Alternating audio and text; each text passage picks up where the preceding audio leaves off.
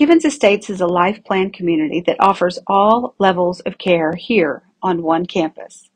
Many people move to our community long before they ever need any supportive services, but it does give you peace of mind knowing that it's there if it's ever needed. Our Givens Estates Health Center is Medicare and Medicaid certified with a five-star rating. These residents provide continuous long-term and short-term stays based on your individual needs. Be sure to ask about our home care program as well. Many residents find that after they move here to Givens Estates, they don't really want to move again. They prefer to stay in the comforts of their home and don't want to be separated from their neighbors or spouses.